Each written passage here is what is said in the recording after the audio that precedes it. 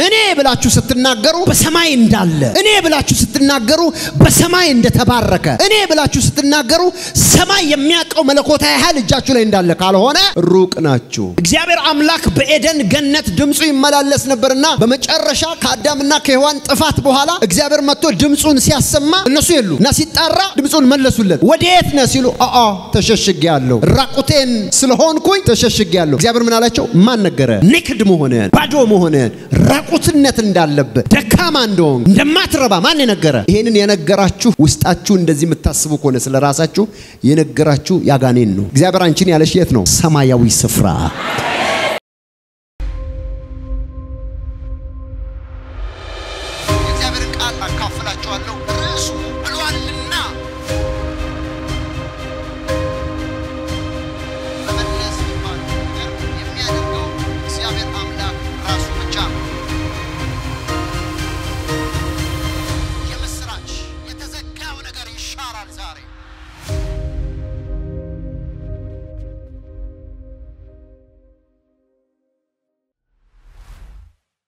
መልእክቱ ርዕስ እውነተኛው ማንነትህን ግለጥ የሚል ነው።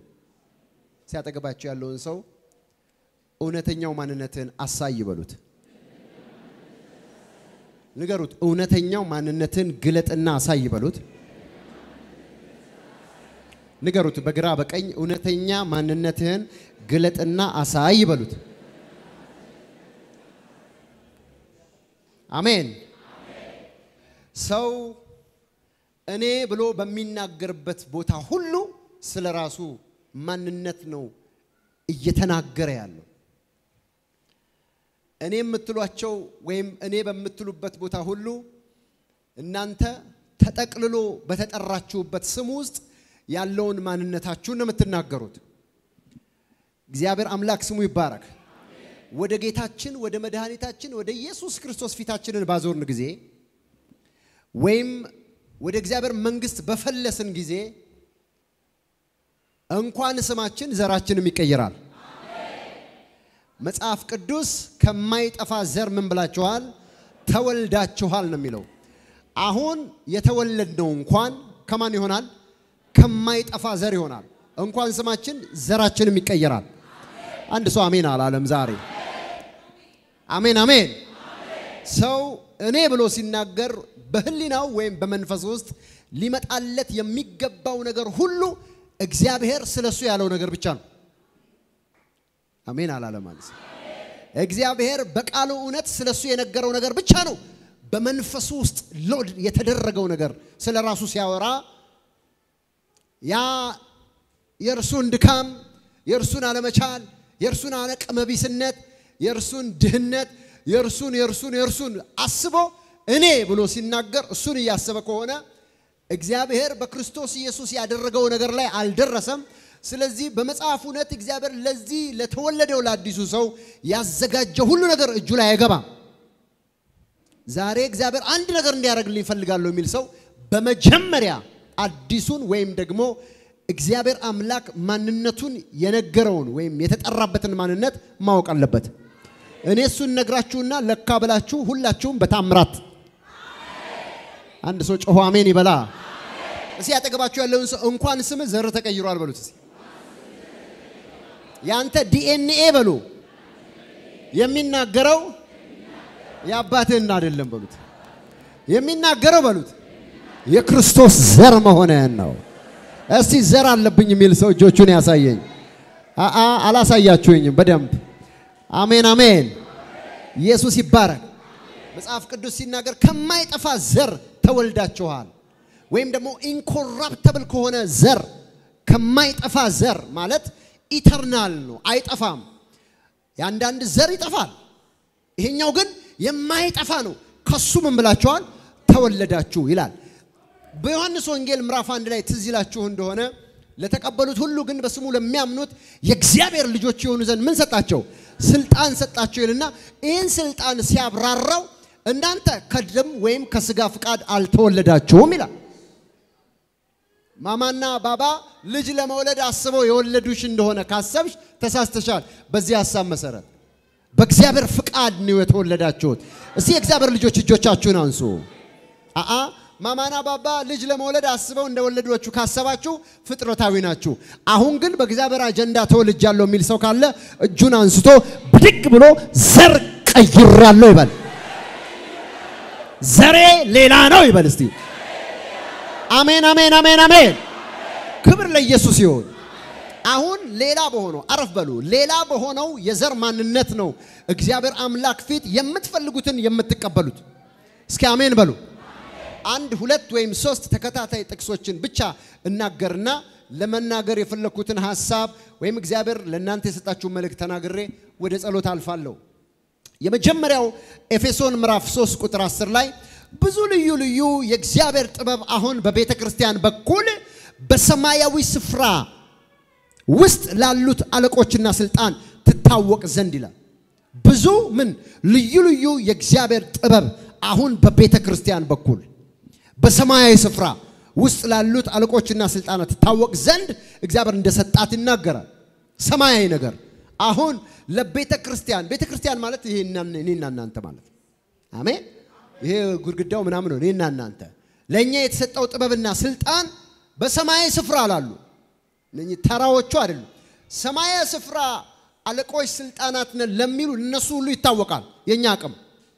አሁን ራሳችሁን የምታውቁበት ወይም ራሳችንን የምናውቅበት ነገር እኛ በምናውቀው የድካም ዓለም ከሆነ ከእግዚአብሔር ሐሳብ ተለይተን የምንናገረው ሁሉ እንዳይሰማ እንዘጋለን። አሁን ወደ ማንነታችን ተመልሰን እግዚአብሔር ፊት እንጮሃለን። እግዚአብሔር አሁኑኑ ታምራት ያደርጋል እያልኩ አሜን፣ አሜን፣ አሜን። እስኪ አንድ ሰው ጮክ ብሎ አሜን ይበላ። ኢየሱስ ይባረክ። ሁለተኛውን የመጽሐፍ ቅዱስ ክፍል እዛው ኤፌሶን ምዕራፍ 2 ቁጥር 6 እና 7 በሚመጡ ዘመናትም በክርስቶስ ኢየሱስ ለእኛ ባለው ቸርነት ከሁሉ የሚበልጠውን የጸጋውን ባለጠግነት ያሳይ ዘንድ ከእርሱ ጋር አስነሳን፣ በክርስቶስ ኢየሱስም በሰማያዊ ስፍራ ከእርሱ ጋር አስቀመጠን። እስኪ አሁን የኔ አድራሻ ሰማይ ነው በሉ። ተናገሩ ጮክ ብላችሁ አድራሻ የሰማይ ነው በሉ። በሰማይ ስፍራ ተቀምጫለሁ በሉ። ሶስተኛውን ቃል ቃል አነባለሁ። ሶስተኛውም ይኸው ኤፌሶን ምዕራፍ 1 ቁጥር 3 ላይ ያለው ነው። በክርስቶስ በሰማያዊ ስፍራ በሰማያዊ በረከት ሁሉ የባረከን የጌታችን የኢየሱስ ክርስቶስ አምላክና አባት ይባረክ። በእነዚህ ሶስት ቃሎች ላይ የምናየው አንደኛ ጥበብና ሰማያዊ የሆነ ኃይል ተሰጥቶናል። ሁለተኛው አድራሻችን ሰማይ በእግዚአብሔር ቀኝ ከክርስቶስ ኢየሱስ ጋር ነው። ሶስተኛው በሰማያዊ በምድር አይደለም፣ በሰማያዊ በረከት ተባርካቸዋል። እስኪ አንድ ሰው ይሄ የገባው ሰው ጮሆ አሜን ይበል። እስኪ አንድ ሰው እንደዚህ ይበል፣ ኃይል አለኝ ይበል፣ አድራሻዬ ሰማይ ነው ይበል፣ በሰማይ በረከት ተባርክ ያለው በሉ። እነኚህ ሶስቱ በሉ እግዚአብሔር ልጅ ሲያረገኝ የሰጠኝ በሉ አቅምና ኃይል ነው፣ ማንነት ነው። አሜን አሜን። ስለዚህ እዚህ ያላችሁ እኔ ብላችሁ ስትናገሩ በሰማይ እንዳለ፣ እኔ ብላችሁ ስትናገሩ በሰማይ እንደተባረከ፣ እኔ ብላችሁ ስትናገሩ ሰማይ የሚያውቀው መለኮታዊ ኃይል እጃችሁ ላይ እንዳለ ካልሆነ ሩቅ ናችሁ። እስቲ አሁን የምለው የገባው ሰው እኔ በሉ እስቲ የተባረኩ ነኝ። እኔ በሉ ጮሁና የሚሳካልኝ ሰው ነኝ። እኔ በሉ ድሃ አይደለሁም። እኔ በሉ የሞተ ሰው አይደለሁም። እኔ በሉ አቅመ ቢስ አይደለሁም። እኔ በሉ ባዶ አይደለሁም። እኔ በሉ በሰማያዊ ስፍራ እግዚአብሔር የባረከኝ የእግዚአብሔር ልጅ ነኝ። አንድ ሰው ጮሆ ልጅ ነኝ ይበል።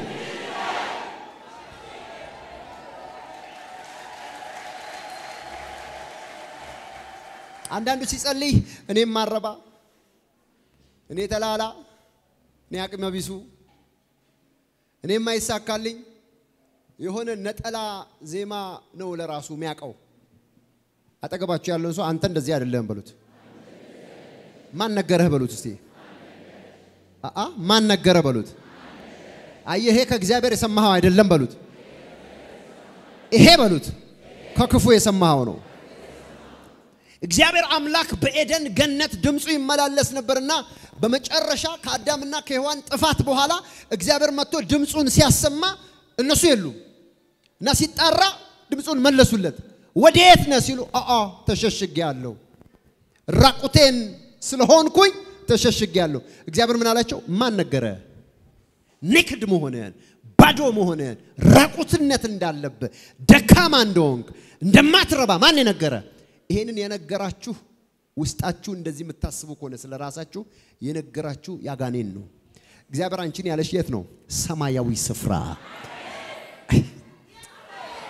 ሰማያዊ ስፍራ የተባረከች የሚሳካላት ለብዙዎች መፍትሄ የምትሆን ለብዙዎች በረከት የምትሆን እግዚአብሔር የሚወዳት እግዚአብሔር የሚወደው አሜን። አየህ፣ ስለ ራስህ ድካም የምታወርልኝ ከሆነ እንደዚህ ብዬ ጠይቃለሁ ማለት ነው። ማን ነገረ? ማን ነገረሽ? እስኪ አንድ ሰው ብድግ ይበልና በክርስቶስ ሁሉን እችላለሁ በሉ። ተናገሩ። በክርስቶስ በሉ ሁሉን እችላለሁ። እርሱ በሉ ለእኔ የነገረኝ ይህንን እውነት ነው። እኔም ማቀው በሉ የተባረኩ የሚሳካልኝ የሚሆንልኝ በሽታ ማያቀኝ ክፉ ማያቀኝ አይነት ነኝ። አሜን። እስኪ እኔ እንደዚህ ነኝ በሉ።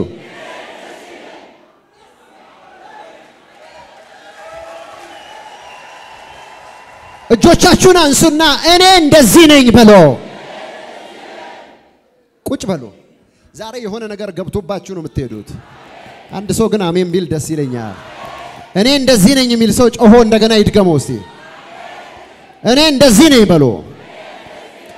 የዘፍጥረትን መጽሐፍ ከ27 ጀምሮ እስከ 32ኛ ምዕራፍ ድረስ ስታነቡት እኔ አላነብላችሁም፣ ግን ሐሳቡን ነግራችኋለሁ። ያዕቆብ ምንም እንኳን አታላይ እንደነበረ ራሱ ቢያቅም ሁኔታዎች ቢነግሩትም ያዕቆብ ግን አባቱ ይስሐቅ ከባረከው ሰዓት ጀምሮ በሰማያዊ በረከት ተባርኮ ጨርሷል። መጽሐፍ ቅዱስ ሲናገር በብዙ በረከት እንደወጣ ሲናገር በትሬን ብቻ ይዤ ወጣው፣ እግዚአብሔር ግን የሁለት ክፍል ሰራዊት አረገኝ ብሎ ስለ በረከቱ ተናግሯል። አሜን አላላቸውም? ያዕቆብ እንደባረከውም መጽሐፍ ቅዱስ ይናገራል።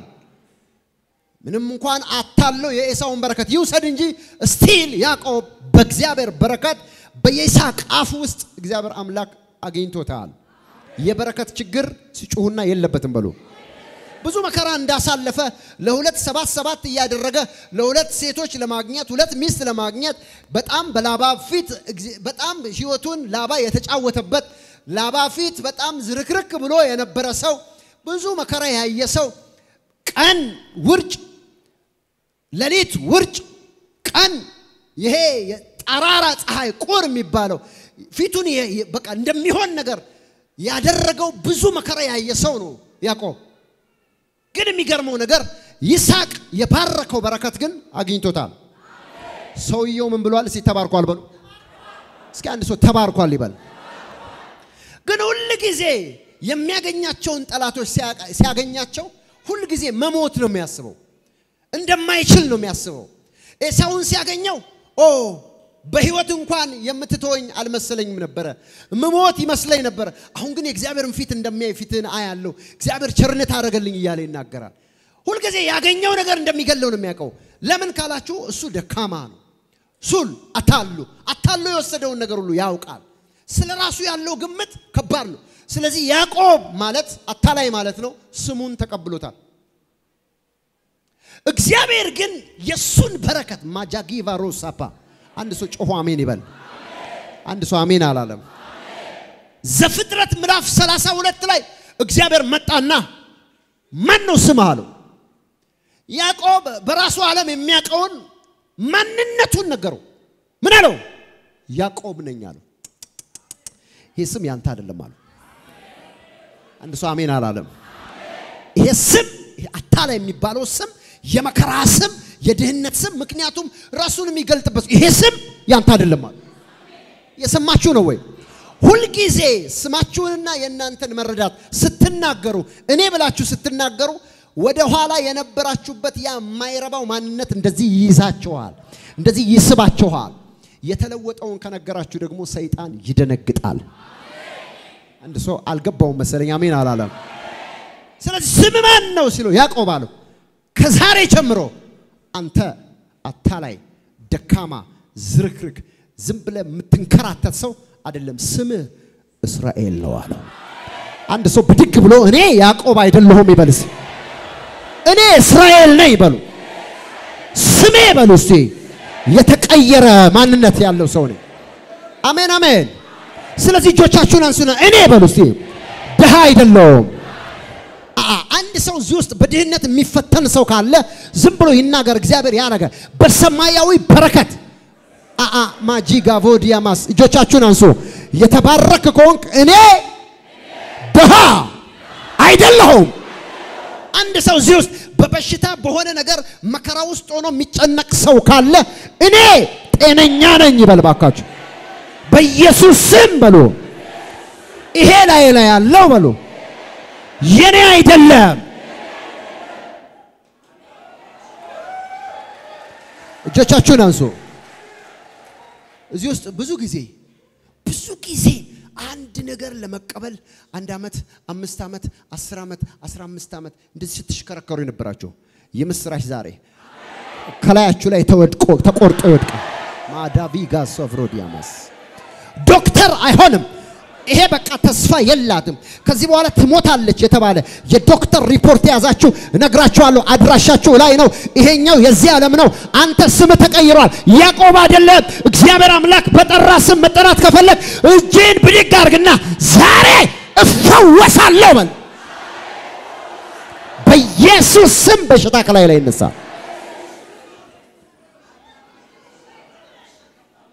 አሜን፣ አሜን፣ አሜን። አንድ ሰው አሜን ይበል። አንድ ሰው ስጋት አይገባኝም ይበል። አንዳንድ ሰው የሆነ ነገር ሲሰማው ጉግል ያደርጋል። እንደዚህ እንደዚህ እንደዚህ ሲያደርግ ምን ማለት ነው? ይሄ ያለብህ ይሄ ያለብህ ያለብህ ይላል። ይሄ ማለት ይልና እንዲህ አይነት ክፉ በሽታ ነው ብሎ ይነግራል። ጉግል ከሚነግር በላይ እግዚአብሔር በመንፈሳዊ ዓለም በሰማያዊ ስፍራ በእግዚአብሔር ቀኝ ያስቀመጠህ ነህ። ይሄ ጉግል የነገረህ ያንተ አይደለም። አሜን። ይሄ የሆነ ሰውዬ የነገረህ እዚህ ጋር አለብህ እዚህ ጋር አለብህ ጊዜ የለህም ያለ ያንተ አይደለም። ማንኛውም ቲመር ማንኛውም በሽታ ዛሬ በኢየሱስ ስም የቀለጠ ይሆናል። አንድ ሰው ጮሆ አሜን ለምን አይለኝም? አንድ ሰው ጮሆ ክፉ ነገር የኔ አይደለም በሉ። በሽታ የኔ አይደለም በሉ። እስራት የኔ አይደለም በሉ። ችግር የኔ አይደለም በሉ። ሞት የኔ አይደለም በሉ። አለመሳካት የኔ አይደለም በሉ። የኔ በሉ እስቲ ከፍታ ነው፣ ድል ነው፣ ጤንነት ነው፣ በረከት ነው፣ ክብር ነው፣ ከፍታ ነው። ተቀበሉ በኢየሱስ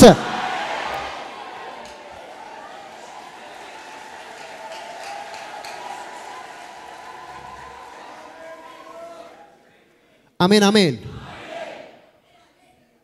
አንተ እኮ አንዳንድ ሰዎች deliver ከመሆናቸው በፊት ሁል ጊዜ እንደዚህ ይሆንብኛል ጠዋት ስነሳ ሙልጭ አድርጎ የሚሰድበኝ ነገር አለ እንደ አንዳንድ ጊዜ እንደውም ሰው የለም አለ። ሙልጭ አድርጎ አንተ እኮ እንዲህ ነህ ይላል። አይደለሁም በሉ እስቲ። ያ የሚልሽ ነገር ዛሬ ይዋረዳል። አሜን አሜን። አንቺ እኮ በቃ ያለ ባል እድሜሽ ገፋ እኮ በቃ መጨረሻ የለሽም። አአ አረፈደም በይ እስቲ አሁን ይሆናል በይ። አንቺ እኮ መውለድ አትችይም። በቃ አለቀልሽ። በቃ እኮ ተዘጋ እኮ ነገሩ ይላል። አይደለም። ይሄ ማን ነገረሽ? የክፉ ድምፅ ነው። አንድ ሰው ጮሆ ሰርዛለሁ ይበል። የክፉ ነገር እየሰማ ዛሬ ተስፋ የቆረጣችሁ ሰዎች እግዚአብሔር አምላክ በሰማያዊ በረከት የባረካችሁን በረከት እውን ያደርጋል። ዛሬ ማን ነገረሽ? እስኪ እኔ አይደለሁም በይ። እኔ እንደዚህ አይደለሁም በይ። አሜን። ይሄ ሰይጣን በሉ በላይ ላይ ያመጣውን ያስቀመጠውን አሁን ሰብራለሁ።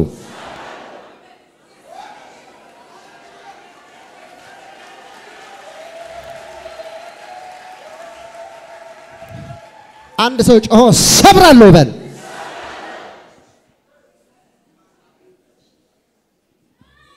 እግዚአብሔርም ይመጣል። ስምህ ማን ነው ይልሃል። ስምህ ማን ነው?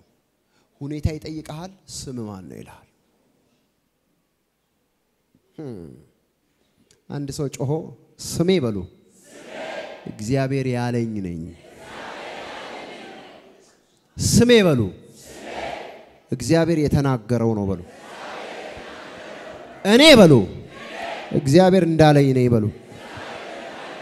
ሰይጣን ያለኝን፣ ደጋሜ ያለኝን፣ ጠንቋይ ያለኝን፣ አስማተኛ ያለኝን፣ ሟርተኛ ያለኝን፣ ሁኔታ ያለኝን አይደለኸውም።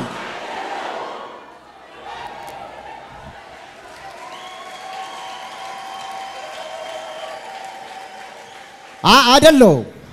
አንድ ሰው ጮሆ አይደለሁም ይበል። ማካቡራ ቢያሳማ አሜን፣ አሜን፣ አሜን።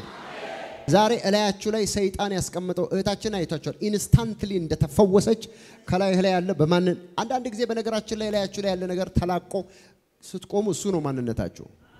ያ የተጫነው በደጋሜ በመቁጠሪያ በደብተራ የታሰረው ነገር ዛሬ በእሳት ይቃጠላል።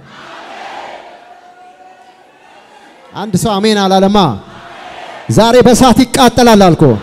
ዛሬ በመንፈስ ቅዱስ እሳት ይቃጠላል። ዛሬ በአባቴ እሳት ይቃጠላል። ዛሬ በኢየሱስ ስም እሳት ይቃጠላል። ድግምት ይቃጠላል። ጥንቆላ ይቃጠላል። አስማት ይቃጠላል። መተት ይቃጠላል። በኢየሱስ ስም ይቃጠላል። ይቃጠላል።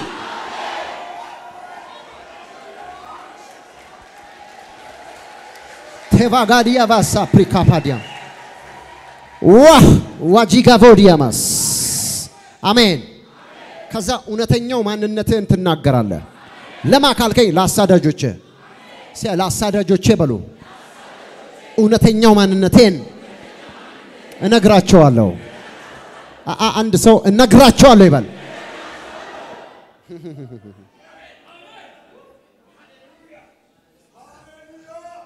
አሜን። ሐዋርያ ሥራ ምዕራፍ ዘጠኝ ላይ ሳኦል ሕዝቡን ሁሉ የእግዚአብሔር ልጅ ኢየሱስ ክርስቶስን የሚያምኑትን ያሳድድ ነበር፣ ይገል ነበር። መጨረሻ ላይ ሐዋርያ ዘጠኝ ላይ ፊት ለፊት ከባድ ብርሃን ታየኝ አለ ሳኦል። ከዛ በኋላ ጳውሎስ የሆነው ታላቅ ፍርሃትና መንቀጥቀጥ ወደቀ አካባቢው ላይ። ሳኦል ሳኦል ስለምን ታሳድደኛል የሚል ድምፅ ሰማ ይላል። ከዛ ማንነት ነው የጠየቀው። አንተ ማነህ? ማጂባ ጎባዲያስ አያችሁ፣ እግዚአብሔር ይፈልገዋል ይሄንን ነገር ጂጋ ቦዲያማስ አንቺ ማነሽ ብዬ ስጠይቅሽ አንቺ ራስሽን የምታብራሪበት መንገድ ያን ድካምሽን ያንን ኮተት ያንን ከኋላ ያለው ውድቀቱን ድካሙን ምናምን ከሆነ በቃ ተሳስተሻል። አንቺ እንደዛ አይደለሽም። አሁን እግዚአብሔር እንደሚልሽ ነሽ። አንቺ አንቺ ያዕቆብ አይደለሽም። አሜን። አንቺ እስራኤል ነሽ። አሜን በይ። አሜን አላለም። አንድ አንድ ሰው የገባው ሰው አንተ ማነህ አለው። እኔ አለ የናዝሬቱ ኢየሱስ ነኝ። ይህን ስም ሊታሰር ሲል ጌታ በተናገረ ጊዜ ሊይዙት የመጡ ወደ ኋላ ወደቁ ይላል። አዲያቮክሉ ይህ ስም ከሰማይ የመጣ ስም ነው። እግዚአብሔር አምላክ ለማርያም መልአኩ ገብርኤልን በላከ ጊዜ ስሙን ኢየሱስ ትይዋለሽ፣ ስሙን አማኑኤል ትይዋለሽ፣ ስሙ አዳኝ ይባላል ብሎ ነገራት። ይሄ ከሰማይ የመጣ ስም እውነተኛ ማንነት ነው። አሜን፣ አሜን፣ አሜን። አጠገባችሁ ያለውን ሰው የምድሩን ሳይሆን ከሰማይ የተሰጠን ስም ያዝ በሉት። ከሰማይ የተሰጠ በሉት። ያንተ እውነተኛ ማንነት ነው በሉት። ይሄኛው በሉት። ጨለማ የሚያወራ ነው። እስኪ አንድ ሰው እችላለሁ በል ዛሬ በሉ ቀንበሬ ከላይ ላይ ይሰበራል። ከዛሬ ጀምሮ በነፃነት በክብር በከፍታ እገለጣለሁ። አንተ ጠላቴ ዛሬ ስማ፣ ትዋረዳለህ።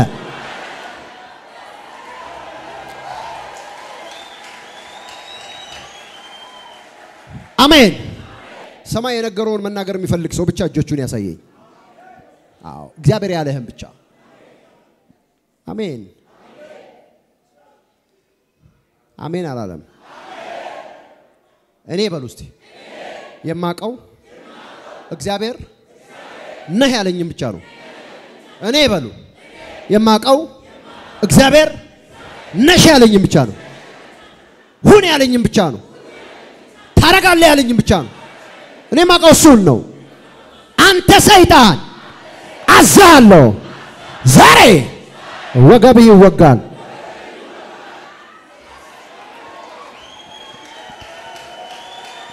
ማካዳቪያ ኮሳ ፕሪካቫዲያማ አሜን የሚል ሰው ማን ነው እዚህ ውስጥ?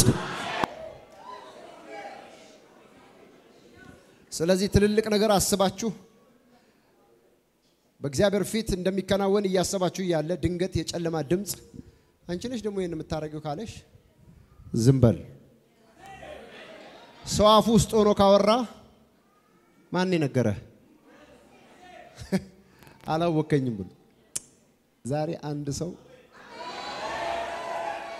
እዚህ ውስጥ አለ። አንድ ሰው አንድ ሰው እስከ ዛሬ አይሳካልሽም የሚል ድምፅ የጠጣችሁ ስሙኝ ስሙኝ፣ አይሳካልህም የሚል ድምፅ ስትጠጡ የነበራችሁ አይሆንላችሁም ስትሉ ስትባሉ የነበራችሁ በሽታው ይዞ ነው የሚጠርግ ተብሎ በዶክተር በማስረጃ በትክክለኛው በወረቀት እጃችሁ ላይ የቀረበባችሁ ከዚህ በኋላ እንደዚህ ነው የምትሆኑትን ያለችው ያ ሁሉ የጨለማ ድምፅ ነው። እግዚአብሔር ያላችሁ አይደለም። አሜን። እግዚአብሔር ያላችሁ ዛሬ ኤፍታ ነው። አንድ ሰው ጮሆ ትፈታላችሁ ይበል። እፈታለሁ ይበል አንድ ሰው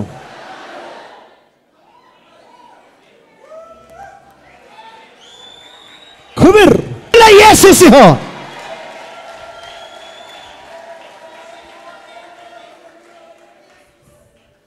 ለዚህ ነው የአንዳንዶቻችን ጸሎት የማይሰማው። እኔ ጨምዳዳው ስትሉ እግዚአብሔር አምላክ እንደዚህ ይልና ማን ነገረ ይላል። አየ እኔ አላልኩም እያለ ነው እግዚአብሔር። እኔ የማረባው እኔ የማይሳካልኝ እኔ የአርባ ቀን እድሌ ምናምን ስትሉ ማን ነገረ ማን ነገረሽ ይላል እግዚአብሔር። አንቺ እንደዚህ እኮ አይደለሽም። እጆቻችሁን አንሱ። ዛሬ ትፈታላችሁ። አይደለሁም በሏ። ዛሬ እፈታለሁ የሚል ሰው እፈታለሁ የሚል ሰው today is day of deliverance። ለምን መሰላችሁ? እግዚአብሔር አምላክ ያዕቆብን ከስሙ ጋር ነው ያፋታው። አንተ ዝም በላለው በቃ ነካው። የጭኑን ሽሉዳ እጄ እስከ ዛሬ ድረስ የጭኑ ሽሉዳ ወይም ወርች እዚህ ጋር አይበላም በእስራኤል። ለምን ያዕቆብ በእግዚአብሔር የተነካበት ቦታ ነው እና ያዕቆብ አንካሳ ነበር። ከሆነ ጊዜ በኋላ እንደዚህ ነበር የሚሄደው። ለምን ተነክቶ ነው። አንካሳሙን ምንሙን ብቻ ተነክተ ከተለወቅት ይሁንልን። አንድ ሰው ጮሆ አሜን ይበል። አየ የራሱን ማንነት ማስተዋወቅ ማን ነው ስም አሉ። እግዚአብሔር እኮ ስለሚጠፋው አይደለም እንደዚህ የሚጠይቅሽ። አየ ራስ የምታብራራበት መንገድ ምንድን ነው? አታላዩ ነኝ አለ እሱ። አንተ ከዚህ በኋላ እንደዚህ አይደለም አለ። አሁን ከዚህ ከምትለው ነገር deliver ማድረግ አለ። አሁን ነፃ ነው ማወጣ አለ። አሁን ፈታ አለው አለ። እንዳለውም እግዚአብሔር ፈታው። ከዛን ጊዜ ሻይን እያደረገ አሜን አሜን አሜን። ዛሬ እግዚአብሔር አምላክ ከትብታባችሁ ያነጻችኋል። ከታሰራችሁበት ይፈታችኋል። ከተያያዛችሁበት ነገር ይለያችኋል። ከበሽታ ይለያችኋል። ከአጋንንት፣ ከጥንቆላ፣ ከመተት፣ ከድግምት፣ ከደጋሚ፣ ከመዋርተኛ ይለያችኋል። ይህ ከክፉ ነገር ከሞት ከናንተ በሕይወታችሁ ላይ ከተነገረ ማንኛውም የክፉ ነገር እግዚአብሔር አምላክ ይለያችኋል። አንድ ሰው ጮሆ እለያለሁ ይበል። እግዚአብሔር ዛሬ መጥቷል። አንድ ሰው አሜን አላለ። ገና በመጀመሪያው እዚህ ስጸልይ እግዚአብሔር አምላክ ስራ ጀምረዋል። የተዘጋጀ ብቻ እጆቹን አንስቶ ዛሬ በሉ ከዚህ ክፉ ስራ፣ ከዚህ የጨለማ ኃይል፣ ከዚህ የድግምት መንፈስ፣ ከዚህ የክፉ መንፈስ አሁን በሉ እለያያለሁ።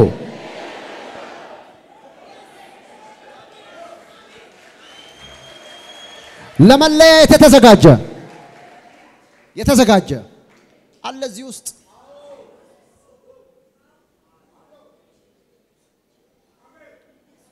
አዎ እንደ ታሰራቸው አይገባቸውም። አንዳንድ ሰዎች ግን በውጤቱ ነው የሚያውቁት።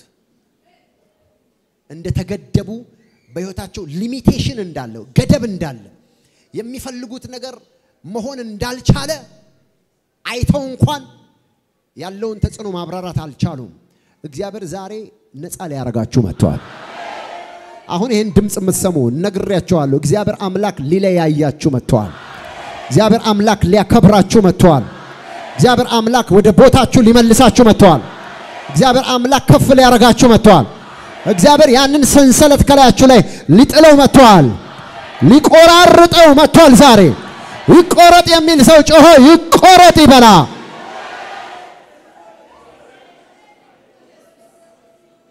ባሙ ባጊያ ዳቡስ አፕሪዲያማ አጠገብ ያለውን ሰው ማን ነው ስምህ? ማን ነው ስምሽ? በሉ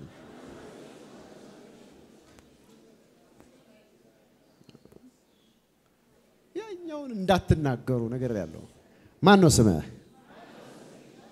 እኔ በሉ በሰማያዊ ስፍራ የተቀመጥኩ እግዚአብሔር ይባርከኝ ጥበብና ኃይል የተሰጠኝ ነኝ። እኔ በሽታ ይወጋል።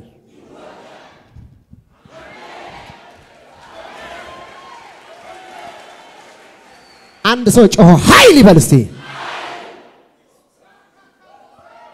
ሞባራቫ ሲያካታሚ ራቮሻ ካማንዲ ፕራዲያማስ ዛሬ እላያችሁ ላይ ያለ ትብታብ እየጮኸ ነው ራሱ። አሁን በመንፈሴ እሰማለሁ። የደጋሚዎች ድግምት መና እየቀረ ነው። የአስማተኞች አስማት ጉዱ ፈላ። ዛሬ ትብታብ ይበጠሳል። ዛሬ መርገም ይሰበራል። ዛሬ መካንነት ዛሬ በኢየሱስ ስም ይሰበራል። መካንነት ዛሬ በኢየሱስ ክርስቶስም ከላያችሁ ላይ ይነሳል። እግዚአብሔር አምላክ አንድን ሰው ዛሬ ይፈውሰዋል፣ ነፃ ያወጣዋል። አንድ ሰው ተላቆ ይሄዳል። ከዚህ